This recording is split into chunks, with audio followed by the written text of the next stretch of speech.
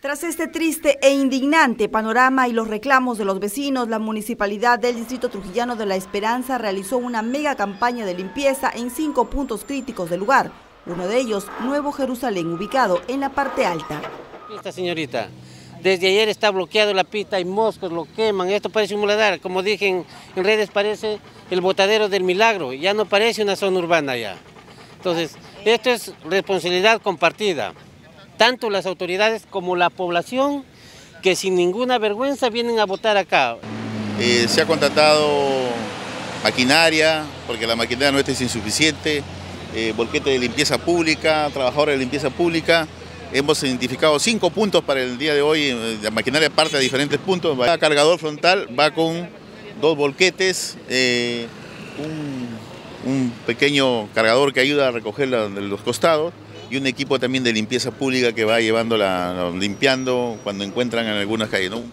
Maquinaria, volquetes y personal de limpieza desde tempranas horas empezaron con esta ardua labor, sobre todo porque estos desmontes de basura son un foco infeccioso y de contaminación ambiental, perjudicial para los pobladores. Los vecinos se mostraron indignados por la irresponsabilidad de algunos moradores, quienes dejan sus residuos sólidos en plena calle. Asimismo, agregaron que se debe detectar a los tricicleros que contribuyen a este desorden. Una persona acá encubierta de civil para que vea quiénes son los que vienen a votar. Creo hasta triciclos vienen a votar acá, que se les incaute. Señorita, si, si no ponemos mano dura, nunca vamos a cambiar.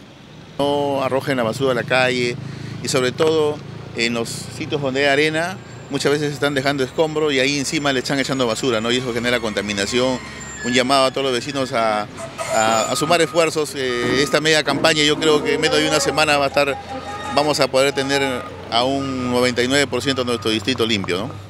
Se espera que tras esta liberación de basura los moradores sean responsables y adopten actitudes positivas como dejar sus residuos sólidos a la hora establecida y en el lugar indicado para evitar focos infecciosos y enfermedades.